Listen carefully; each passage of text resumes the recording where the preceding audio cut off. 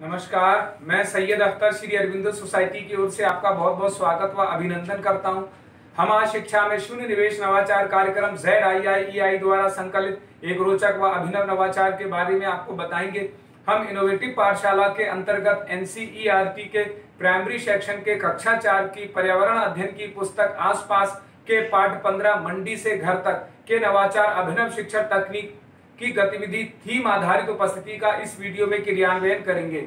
हम आशा करते हैं कि आप इस वीडियो को देखने के उपरांत इस नवाचार तकनीक को अपने विद्यालय व कक्षा में अवश्य लागू करेंगे। इस पाठ को जेड के कई नवाचार गतिविधियों से पढ़ाया जा सकता है, परंतु आज हम इसे थीम आधारित उपस्थिति से समझेंगे। तो आइए पाठ का सार समझते हैं। प्रस्तुत पाठ, मंडी से घर तक में विभिन्न प्रकार की सब्जियों व अनाज को बेचने में होने वाली कठिनाइयों व कार्यों की जानकारी पर आधारित है। इस नवाचार की नवीनता यह है कि थीम आधारित उपस्थिति एक ऐसा नवाचार है जिसमें उपस्थिति दर्ज कराने का अनोखा तरीका अपनाया गया है। इसमें पाठ से जुड़े हुए शब्दों, वाक्यों, चित्रों, संख्याओं आदि को रोलंबर के स्थान पर बोला जाता है, जिससे कि पुनः अध्ययन द्वारा पाठ को लंबे समय तक याद रखा जा सकता है। इस नवाचार की क्रियान्वयन प्रक्रिया के अंतर्गत पढ़ाए जा रहे पाठ की संकल्पना के पुनः अध्ययन के लिए दैनिक उपस्थिति के समय रोल नंबर न बोलकर पाठ से संबंधित विभिन्न प्रकार की सब्जियों की जानकारी के नाम को बोलकर छात्र उपस्थिति दर्ज कराते हैं। इस नवाचार की क्रियान्वयन अवधि को यदि देखा जाए तो इसे लागू करने में 20 मिनट का समय लगता है। साथ ही पूर्व प्रबंधन के लिए शिक्षक को किसी प्रकार का कोई पूर्व प्रबंधन नहीं करना पड़ता है, परंतु शिक्षकों को कुछ निर्देशों का पालन अवश्य करना पड़ता है। जैसे शिक्षक ये ध्यान रखेंगे कि उपस्थिति के लिए जो थीम विषय वस्तु निर्धारित की गई है, उसकी थीम पाठ के कॉन्सेप्ट पर ही आधारित होनी चाहिए। शिक्षक छात्रों की उपस्थिति को कर्मानुसार लेंगे और छात्र भी कक्षा में शांति और अनुशासन को बनाए रखेंगे। उन्हें अध्ययन एवं क्रियान्वयन प्रक्रिया के अंतर्गत कक्षा में उपस्थिति के द्वारा पाठ के कॉन्सेप्ट को दोहराया जाता है। आइए अब समझते हैं कि इस नवाचार को किस प्रकार से लागू किया जाता है। इसे उदाहरण से समझ सकते हैं। सबसे पहले शिक्षक किसी छात्र का रोल नंबर बोलेंगे, जैसे शिक्षक पुकारेंगे अनुक्रमांक एक। तब अनुक्रमांक एक वाला छात्र अपने स्थान पर खड़ा होगा और विभिन्न प्रकार की सब्जियों के नाम बोलेगा। जैसे अनुक्रमांक एक बोलेगा टमाटर, आलू।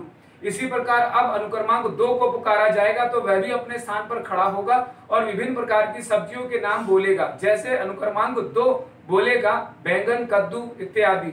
इस प्रकार अनुक्रमांक तीन, चार, पाँच, छह और अंत तक के सभी छात्रों को शिक्षक बारी बारी से बुलाते हैं और उपस्थिति दर्ज कराते हुए पाठ का पुनर्दन आसानी से करा लेते हैं। इस प्रकार निष्कर्ष रूप में कहा जा सकता है कि थीम आधारित उपस्थिति से सीखने के अनेक प्रतिफल प्राप्त होते हैं। जैसे विभिन्न पशु पक्षियों व पेड़ पौधों और सब्जियों आदि की विशेषताओं, जैसे फल, सब्ज़ी, दालें, मसाले आदि की, के बारे में और खाने योग्य वस्तुओं के बारे में पहचानना और उनकी विशेषताओं के बारे में जानते हैं। छात्र विद्यालय, परिवार पास पड़ोस के परिवेश को पहचानने की क्षमता भी विकसित करते हैं। थीम आधारित उपस्थिति से छात्र अपनी स्कूली भाषा और अपनी भाषा को विकसित करते हैं। कही जा रही बात, कहानी, कविता आदि को कहने की समझ विकसित करते हैं। इस प्रकार, इस गतिविधि से सभी छात्रों की भागीदारी सुनिश्चित होती है और सभी को समान अवसर प्राप्त होता है। इस नवाचार गतिविधि में पीआरटी अनुपात का तो ध्यान रखा ही गया है।